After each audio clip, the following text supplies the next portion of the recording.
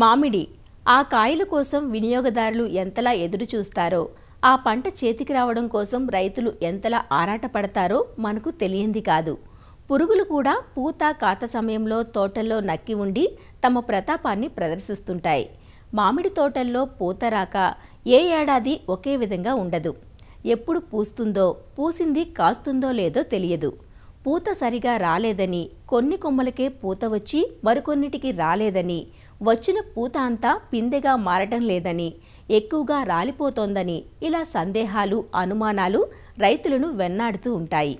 మామిడి పూత మీద సరైన అవగాహనతో ఉండి ఎప్పుడు ఎలాంటి పిచికారీలు చేసుకోవాలి ఏ సమస్యకు ఎలాంటి యాజమాన్యం చేపట్టాలి అని తెలుసుకుంటే మామిడి రైతుకు లాభాలను వినియోగదారునికి మంచి సంతృప్తిని ఇవ్వగలదు.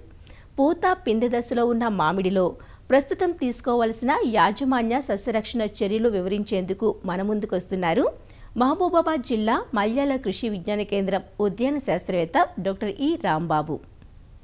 ముఖ్యంగా మామిడిని పూతని మనం మూడు రకాలుగా వర్ణించవచ్చు అండి ఒకటి వచ్చేసి పచ్చిపూత రెండోది వచ్చేసి తెల్లపూత మూడోది వచ్చేసి నల్లపూత పచ్చిపూత స్టేజ్లో ఏంటంటే మనకు ఆకుల చిగుళ్ళ నుంచి పచ్చి పూత అనేది బయటికి రావడం జరుగుతూ ఉంటుంది.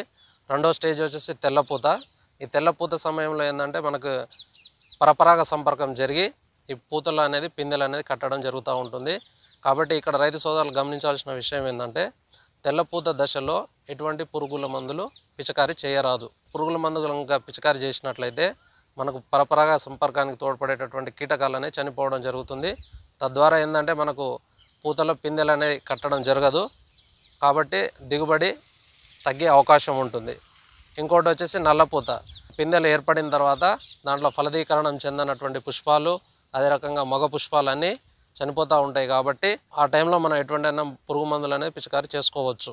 మామిడి పూతలో రైతులు గమనించాల్సిన విషయం ఏంటంటే మనం సాధారణంగా చూసుకున్నట్లయితే ఒక పూరెమ్మకి దాదాపు రెండు వేల నుంచి మూడు వేల పుష్పాలు ఉంటాయండి. దాదాపు తొంభై తొమ్మిది శాతం అన్నీ మగ పుష్పాలే. కాబట్టి మగ పుష్పాలు అనేవి మనకి పిందెలాగా ఏర్పడవు. కొమ్మలో రెండు వేల నుంచి మూడు వేల పుష్పాలలో మన కేవలం ఒక శాతం మాత్రమే ఆడ పుష్పాలు. ఆ ఆడ పుష్పాలు మాత్రమే మనకు పిందెలుగా ఏర్పడడం జరుగుతూ ఉంటుంది. అదే రకంగా ఫలదీకరణం చెందినటువంటి పుష్పాలన్నీ సర్వసాధారణంగా రాలిపోతూ ఉంటుంది. మన కేవలం ఒక శాతం పుష్పం మాత్రమే పిందెగా కట్టడం జరుగుతుంది. అంటే దాదాపు ఒక కొమ్మలో ఐదు నుంచి ఆరు పిందెలు మాత్రమే కట్టడం జరుగుతూ ఉంటుంది. మనకు ఒక కొమ్మలో కట్టినటువంటి ఐదు నుంచి ఆరు పిందెల్లో మన రైతులు కాపాడుకోవాల్సిన అవసరం ఉంది కాబట్టి ఒకసారి పూత వచ్చేసిన తర్వాత ఒక తేలికపాటి నీటి తడులు తోటకి ఇవ్వాల్సిన అవసరం ఉంటుందండి. ప్రతి పదిహేను నుంచి ఇరవై రోజులకు ఒకసారి ఖచ్చితంగా నీటి తడులు ఇస్తూనే ఉండాలి. హార్మోన్ల లోపం వల్ల కూడా పూతలు పిందెలనే రాలిపోవడం జరుగుతూ ఉంటుంది. దాని కొరకు మనం ఏం చేయాలంటే బాగా పిందెలు రాలిపోతున్నట్లు గమనించినట్లయితేనే మనం ప్లానోఫిక్స్ దాన్నే మనం సైంటిఫిక్గా నాఫ్తలిన్ ఎస్టిక్ ఆమ్లం అంటాం. అది వచ్చేసి నలభై నుంచి నలభై ఐదు గ్రాములు రెండు వందల లీటర్ నీటికి కలుపుకొని పిచికారి చేసుకున్నట్లయితే ఈ పిందెలు రాలిపోవడం అనేది తగ్గించుకోవచ్చు. అదే రకంగా పొటాషియం నైట్రేట్ దాన్నే మనం బయట మార్కెట్లో పదమూడు సున్నా నలభై ఐదు పేరుతోటి లభ్యమవుతూ ఉంటుంది. దాన్ని కూడా పది గ్రాములు లీటర్ నీటికి చొప్పున కలుపుకొని కూడా పిచికారి చేసుకొని మన ఈ పిందె రాలుడు సమస్యను తగ్గించుకోవచ్చు. కనుక చూసుకున్నట్లయితే ఇప్పుడు ఏర్పడ్డటువంటి పిందెలు కూడా కొన్ని పసుపు రంగులోకి మారి కూడా రాలిపోవడం గమనించవచ్చు.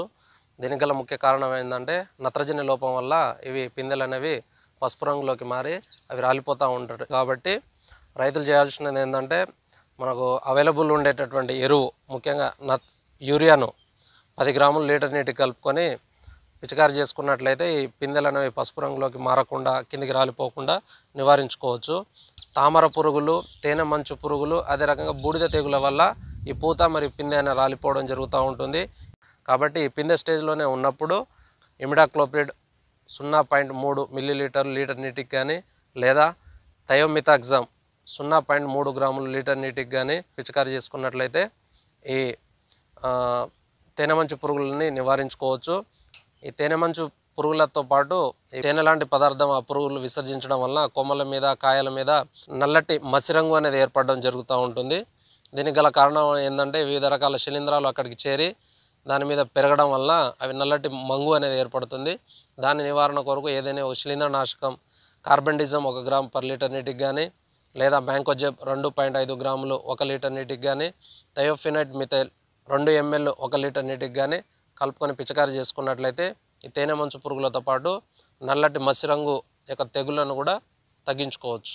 తామర పురుగు కనుక చూసినట్లయితే ఆ పురుగులు అనేటివి పూరెమ్మల్లో అదే రకంగా పిందెల మీద చేరి వాటిని గోకి తినడం వల్ల కాయల మీద అనేటువంటి నల్లటి మచ్చలు ఏర్పడుతూ ఉంటుంది. కాయలు పెరిగే కొద్దీ మచ్చలు కూడా చాలా పెద్దగా ఉండి కాయ మీద నల్లటి మచ్చలు ఏర్పడి మన మార్కెట్లో అనేది ధర లభించదు. తామర పురుగుల యొక్క నివారణకి ఎసిఫెట్ అనే మందును ఒకటి పాయింట్ ఐదు గ్రాములు లీటర్ నీటికి కలుపుకొని పిచికారి చేసుకోవచ్చు. లేదా ఫిఫ్రోనిల్ అనే మందును రెండు ఎంఎల్ ఒక లీటర్ నీటి కలుపుకొని పిచికారి చేసుకున్నట్లయితే తామర పురుగులను కూడా నివారించుకోవచ్చు. అదే రకంగా బూడిద తెగుల వల్ల కూడా తీవ్రమైన నష్టం చూడడం జరుగుతూ ఉంటుంది. బూడిద తెగుల నివారణ కొరకు నీటిలో కరిగే గంధకం మూడు గ్రాములు లీటర్ నీటికి కలుపుకొని లేదా హెగ్జాకొనజోల్ రెండు మిల్లీ లీటర్లు లీటర్ నీటికి కలుపుకొని పిచికారి చేసుకున్నట్లయితే ఈ బూడిద తెగుల నివారణ కూడా తగ్గించుకోవచ్చు. మామిడిలో పూత మరియు పిందె దశలో నీటి యొక్క ప్రాముఖ్యత చాలా ఉందండి. జనరల్గా మామిడి పూతకు ముందు రెండు నెలల వరకు మనం తోటను నీటి ఎద్దటికి గురి చేయమని చెప్తూ ఉండడం జరుగుతూ ఉంటుంది. దానివల్ల ఏంటంటే పూ మొగ్గలు అనేది ఒకటేసారి వచ్చి మనకు యూనిఫామ్గా తోట అంతా ఒకటేసారి పూత రావడానికి ఆస్కారం ఉంటుంది. ఒకసారి పచ్చి పూత బయటికి రాగానే ఒక తేలికపాటి తడిని ఇచ్చినట్లయితే తర్వాత వచ్చేటటువంటి పూత ఒకటేసారి రావడానికి ఆస్కారం ఉంటుంది. అదే రకంగా ప్రతి పదిహేను నుంచి ఇరవై రోజులకు ఒకసారి తర్వాత నీటి తడులను కనుక ఇచ్చుకున్నట్లయితే మనకు పిందెలు కానీ కాయలు కానీ మంచి సైజులో నాణ్యతలో పెరగడానికి ఆస్కారం ఉంటుంది.